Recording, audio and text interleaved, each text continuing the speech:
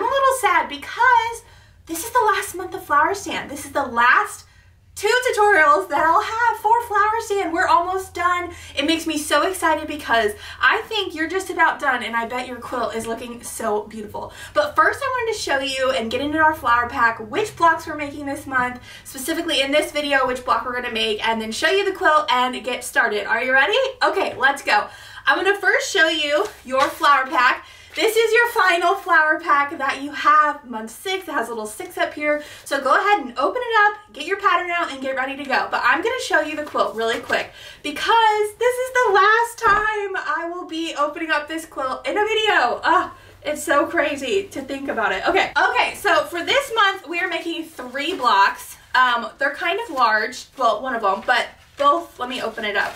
So we have um, two block 11s. So they're the little flags that hang on the side of the flower stand. And then we have one block 12, which is that like awning above the flower stand and then the word that says flowers. So that one's a pretty big one, but that'll be in the next video. But today we're just talking about blocks, block 11, blocks 11. Okay, so I'm gonna show you where they're at really quick.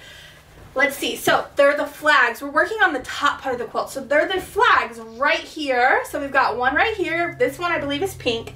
Yeah, it's the peachy pink. So it's a little flag that hangs off the flower stand. I thought those were such cute additions to kind of fill up this space a bit with something so it just wasn't a white solid background. And then this one is the other one. Now, I'm going to point it out in my video, but I actually made a mistake with this block. And I didn't know there was a mistake until the quilt was hanging at Quilt Market on the wall for everybody to see. I was standing there at Quilt Market with my beautiful quilt hanging on the wall. Nobody was in my booth. And I'm looking at it, just admiring it.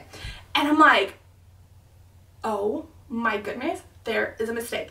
I don't know where my husband was, but the second I found it, somehow he appeared. And I was like, there's a mistake in my quilt. And he goes, what? Because he always gets on to me because I know, okay, if you're married, usually are like, oh, you can do better with that, or oh, that doesn't line up. So he tries, because I do that to him sometimes, I try not to anymore, but he will point out my mistakes in my quilt and be like, oh, not so perfect now, are ya? I hope he doesn't see that, but I love him. Anyway, and so he was so excited, so excited to see a mistake in my quilt. And then it turned into like, what do we do, right? Um, and I was like, we're not doing anything. He's like, can't you unpick it and requilt it? I'm like, yeah, that's not happening. But anyway, so all that to say, one of my blocks, a piece, is turned the wrong way. And I bet you can't even notice. Like, look, I'm hang I hang it up for you. Can you notice? Can you spot the difference? Spot the difference. Do you remember those when you were a kid? Spot the difference. Okay, so one of the flags, the hanger, is upside down or wrong side. I don't know. One or the other. I'm going to bring it in my top camera to talk about it, but let's see. Here are our blocks. Now this one is correct. This is the little piece I was talking about. So this is block 11. We've got two, one peach, one green. This one was fine. It wasn't until I'm gonna try to hold them together. So look, it's upside down, but you can't even tell. It's totally fine, totally fine. I'm gonna bring them together, and honestly, like, if it was a like a, a worse mistake, I probably would have maybe unpicked. Okay, so here, let's try. Okay, here we go. Top camera looks great. Look at the difference. Look at the difference. So today in the tutorial, I'm going to make sure that I don't do that again. How funny would that be if I made the same mistake twice? This is my second flower stand quilt and that would not be great if I did the same mistake. So I'm gonna pay extra attention. Not that I wasn't paying attention, but I thought I thought I was doing a good job making this quilt until I saw that. Anyway, so when you're making this, just pay close attention to those right there. They're easy to get turned around, even I did it. Okay, so these are our two blocks we're making today. You have made these flowers before in several different blocks. So for the tutorial, shorten it up a bit. I am not going to make those in the tutorial. I am going to talk through them with you and then we're going to make the rest of the block and then hopefully not make this mistake. Okay, are you ready to get started? Let's get started. Go ahead and open up your month flower pack pull out your pattern and we're gonna head to the top camera. Okay, so I totally forgot my little markers, but there's not a lot of pieces, so I feel pretty confident that I will not mess up. So we're gonna go ahead and work out of your month six pattern. So go ahead again, open up those flower packs and let's get started. Now I just mentioned that we have made several of these cute little flowers. I call them little pansies, but I don't really know what they are. They're just a cute flower. Okay, so I went ahead and made those flowers, but I wanted to talk through it really quick with you. So you all know in step one is always draw a diagonal line on the back. So your pieces that you're going to turn into corner squares. But from steps two to four, we're making this little flower unit right here. Super simple. You're just taking your fabric M and your L squares, doing your stitch and flip corners. So simple, so easy. Again, you have made these before. And then you're going to assemble your um, middle, your O unit with fabric O and fabric N. And you're going to make two. So one in each color. The next step is to put them all together using your fabric K and then just press according to the instructions on step four. So that's how quick this cute little flower goes together. Just remember to trim up your units according to the pattern. Right at the end of each step, I show you exactly what they should measure. So go ahead and trim off those little bits. I always have little bits that I have to trim off and if you get them off and straighten up your edges, you'll have much more success when piecing with small blocks. Okay, so now for number five, for step five, we're just piecing our fabric J and I. So first you're gonna piece your fabric J to the sides of your little flower unit. You're gonna press and then you're going to assemble your fabric I rectangles to the top and bottom.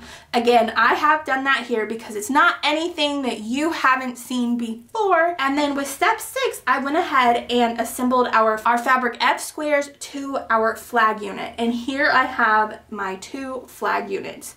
So that is where I am at so far. Again, go ahead and trim up after each step so you know you are good to go. So I'm going to go ahead and sit these little cuties to the side because we will use them in a little while. But I wanted to go ahead and start on step seven with you and walk you through that.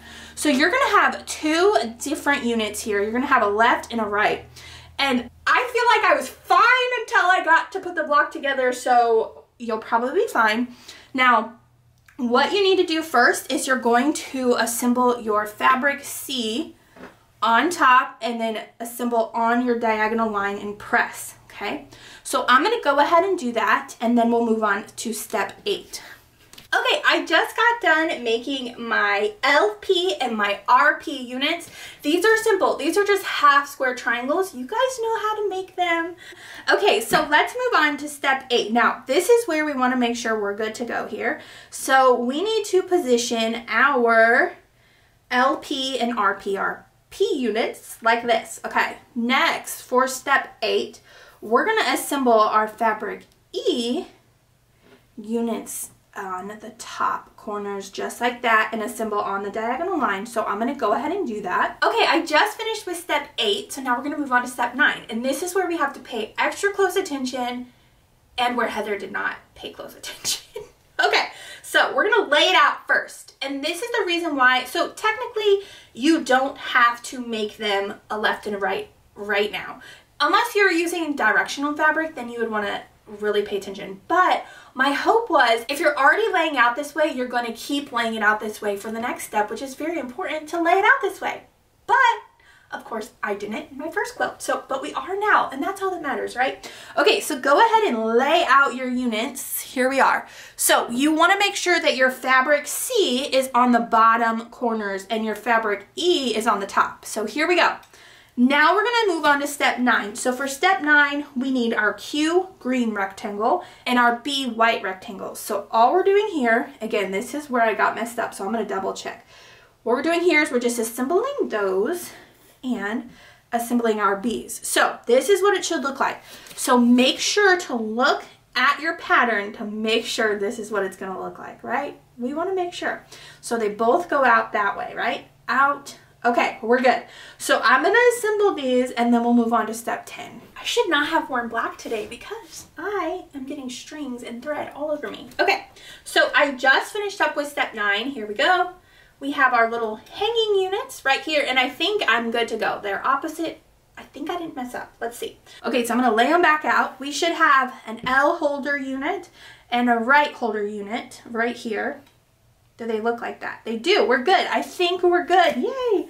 Okay, so we're to set those aside and we're to move on to step 10. Now for step 10, I already pieced my R and my H's because those are super simple. So go ahead and first piece your green R's to your white H's and then we're to assemble our fabric D's rectangles to the bottom. So I'm to go ahead and do that. And when I get back, we're to be putting our entire block 11 blocks 11, block 11 together. Okay, end units, all done. Okay, now we're gonna put them together. This is so exciting. This block is so quick. I love a quick and cute block. Okay, so first I'm gonna start on the left side. Is it the left side? I didn't label that. This side with the pink unit here. Okay, first we're gonna need one of our flag units right here. We're also going to need our left, okay, so this is the left. We're going to need our left end unit, so LN unit. We're going to put this aside. And we're to need our, this is to get confusing, so we got to pay attention. We need this right here. This is our left holder unit, okay? So we're to assemble both of those together first. And then we're to assemble one L to the bottom and one fabric G to the top here and assemble both of those. So I'm to go ahead and do that for both this one and this one. And we can kind of see this one is taking shape. Move these over so we can make room. So this is how they are supposed to go. Wow, this is the right way.